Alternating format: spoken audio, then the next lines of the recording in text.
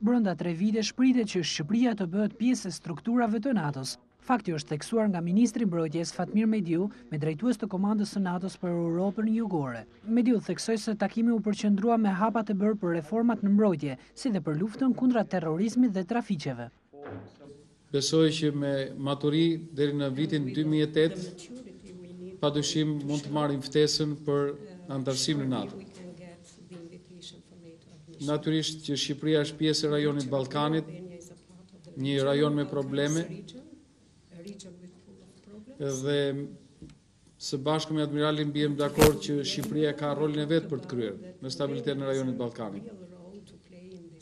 2006 është si viti ballkanik,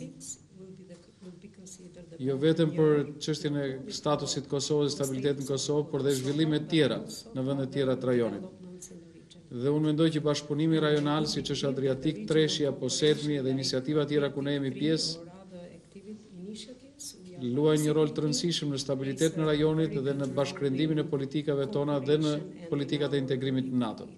Ndërsa admirali Ulrich tha se është bërë një progres i madh dhe bashkëpunimi me Ministrinë e Mbrojtjes ka qenë mjaft i rëndësishëm.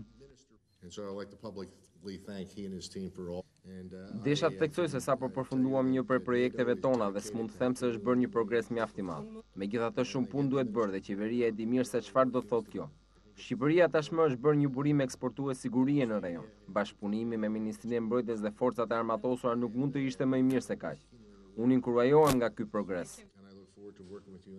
Dhe unë mirëpres bashkëpunimin në të ardhmen.